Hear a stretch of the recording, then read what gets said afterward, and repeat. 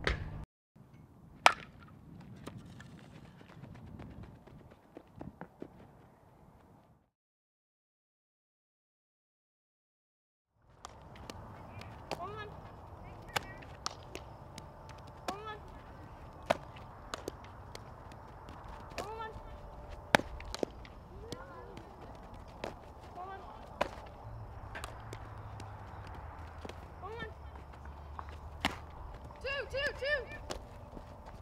One, one, two.